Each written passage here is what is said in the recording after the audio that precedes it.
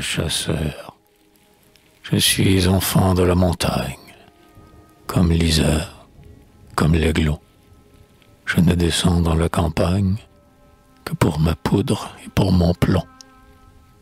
Puis je reviens, et de mon air, je vois en bas l'homme ramper, si haut placé que le tonnerre, je remonterai pour me frapper. Je n'ai pour boire, après ma chasse, l'eau du ciel dans mes deux mains. Mais le sentier par où je passe est vierge encore de pas humains. Dans mes poumons nul souffle immonde. En liberté je bois l'air bleu.